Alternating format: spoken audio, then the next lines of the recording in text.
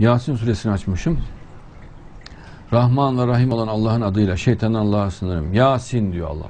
Cenab-ı Allah. İki e, çok şifre olan, harikalık olan bir açıklamadır Yasin. İnşallah. Andolsun hikmetli Kur'an diyor. Allah Kur'an'a yemin ediyor.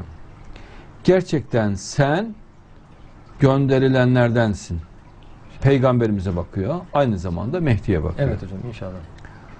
Dost doğru yol bir yol üzerindesin. Kur'an ve sünnete uymuş oluyor. Dost doğru bir yol üzerindesin. Kur'an şeytandan Allah'a sığınırım. Güçlü ve üstün olan bak güçlü ve üstün olan ve esirgeyen Allah'ın indirmesidir.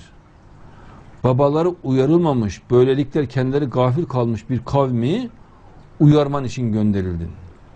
Darwinist ve materyalist adam babası anası geç yani şu ana uygulaması olarak bakıyoruz. hocam. Gafil kalmış adam ona bir uyarı olmuş oluyor. Andolsun onların çoğu üzerine o söz hak olmuştur artık inanmazlar.